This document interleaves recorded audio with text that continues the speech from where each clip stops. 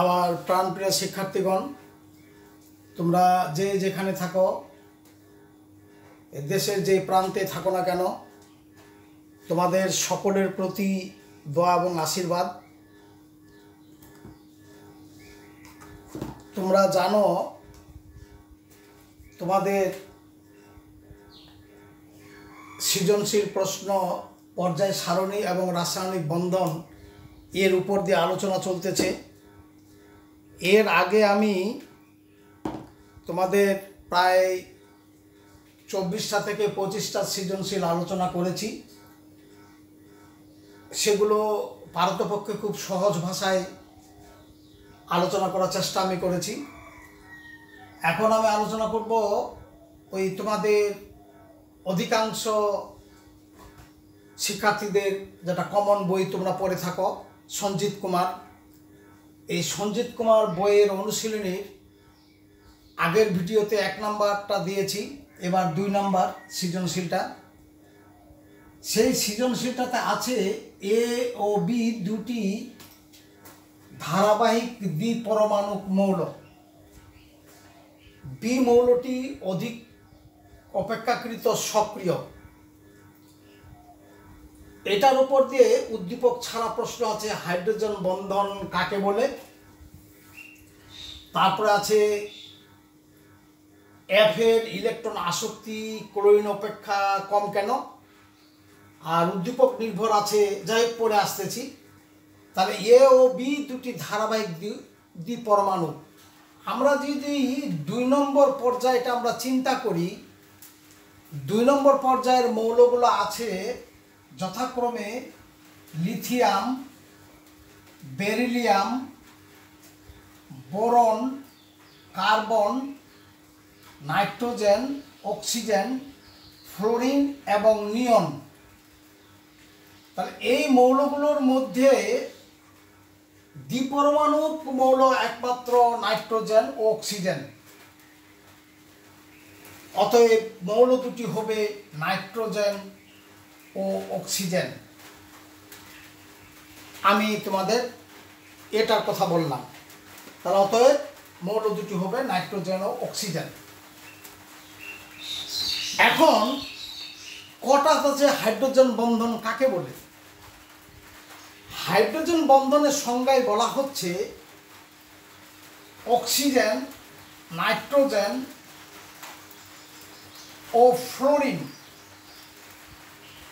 এই মৌলগুলো ঋণাত্মকতার মান অতিশয় বেশি। এরা যখন হাইড্রোজেনের সঙ্গে যুক্ত হয়, তখন ইলেকট্রনের মেঘ অক্সিজেনের দিকে সরে যায়। ফলে অক্সিজেন ঋণ, ঋণাত্মক হওয়াতে যেমন পানির ব্যাপারে যদি আমরা চিন্তা করি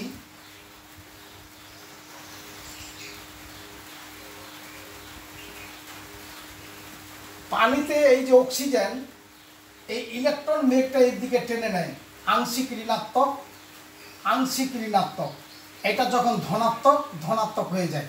ফলে এই ধনাত্মক ঋণাত্মকের মাঝে অনেকগুলো অণু তখন যুক্ত হয়ে হাইড্রোজেন একটা সেতু বন্ধন রচনা করে। হাইড্রোজেনের সেতু ব্রিজ তৈরি করে। এটাই হলো হাইড্রোজেন বন্ধন। পানিতে হাইড্রোজেন বন্ধন আছে। এবার খ নাম্বার প্রশ্নটা হইল,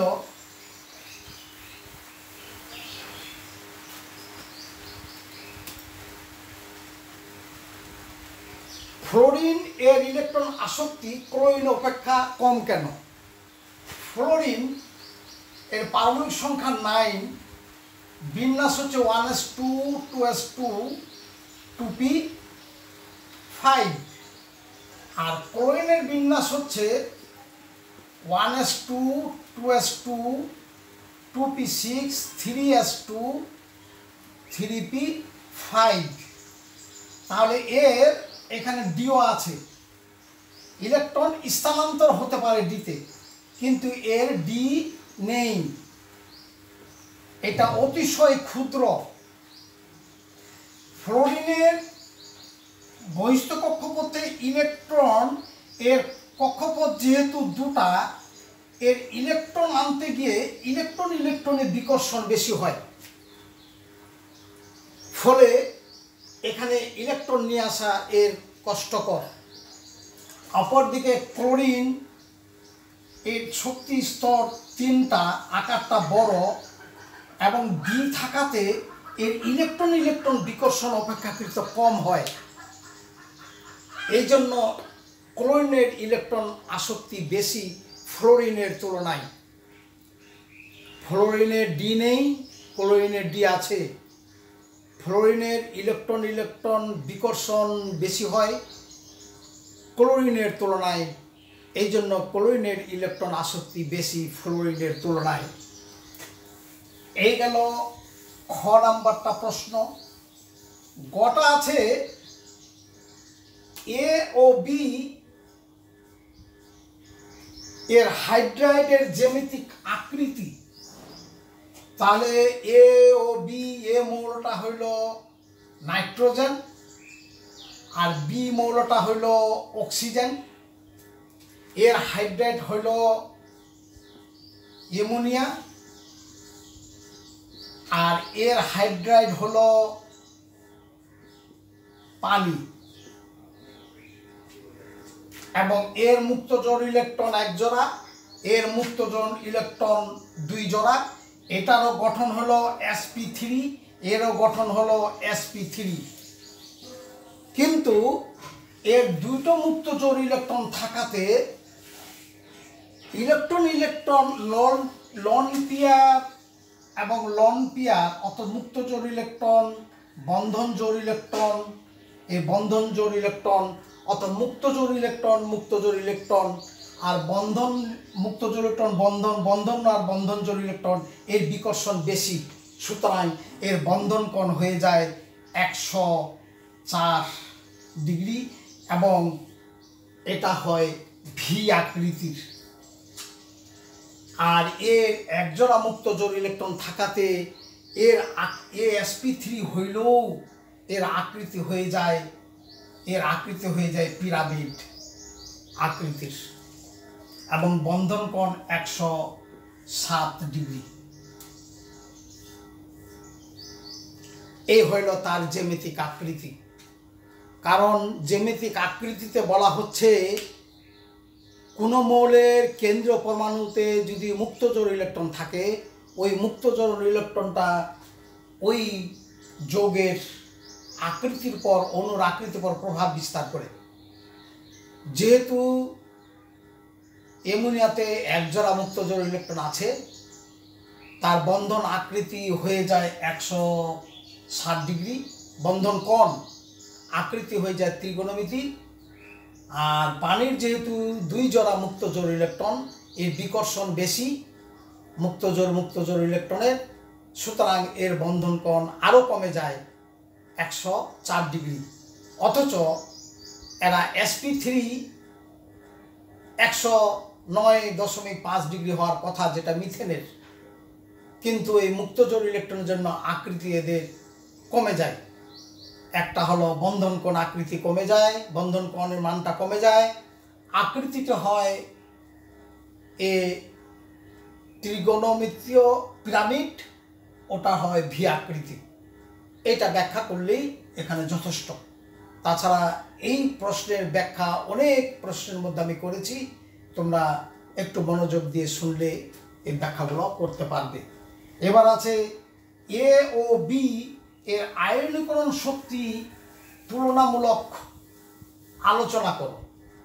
তাহলে নাইট্রোজেন এর বিন্যাস হচ্ছে one s two two s two two p three, অর্থাৎ এই এক্সাইটেড অবস্থায় নাইট্রোজেন হচ্ছে two p x two p y two p z একটা একটা করে ইলেকট্রন অর্থাৎ অর্ধপূর্ণ। আর অক্সিজেনের বেলায় এটা excited one s two two s two two p four এর বেলায় two p x two two p y one two p z one অর্থাৎ অক্সিজেন এক্সাইটেড অবস্থায় বহিস্থ কক্ষপথ। তাহলে এ হলো অর্ধপরিপূর্ণ। এ হলো অর্ধপরিপূর্ণ নয়, অর্থাৎ দুটি অর্ধপূর্ণ, একটি পরিপূর্ণ। এই ক্ষেত্রে এর ইলেকট্রন দেওয়ার ব্যাপারটা অপসারণ করাটা একটু কষ্টকর। আর এর ইলেকট্রন ছাড়া ইলেকট্রন ছেড়ে দেওয়া একটু অপেক্ষাকৃত সহজ। এই জন্য এর আয়নীকরণ শক্তি, নাইট্রোজেনের আয়নীকরণ শক্তি বেশি হবে অক্সিজেনের তুলনায়। আবার পর্যায় সারণী ধর্ম আছে, বাম থেকে ডানে গেলে যেহেতু এ সাত, এ আট, এটার বেশি হওয়ার কথা। কিন্তু এখানে উল্টাটা হয়ে যায়। নাইট্রোজেনের বেশি হয়ে যায়, অক্সিজেনের কমে যায়। কারণ হলো নাইট্রোজেনের অর্ধ পরিপূর্ণ। আর অক্সিজেনের অর্ধ পরিপূর্ণ নয়, একটি পরিপূর্ণ। সুতরাং নাইট্রোজেনের ইলেকট্রন অপসারণ করার জন্য বেশি শক্তির প্রয়োজন হবে, আয়নীকরণ বিভব বেশি হবে। আর অক্সিজেনের কম হবে। এই হলো এটার ব্যাখ্যা। এছাড়াও এ প্রশ্নের ব্যাখ্যা একাধিক সৃজনশীলের মধ্যে আমি করেছি। কাজেই খুবই গুরুত্বপূর্ণ এই প্রশ্নগুলো বারবার শুধু এগুলোই রিপিট হচ্ছে। তোমাদের সকলকেই ধন্যবাদ।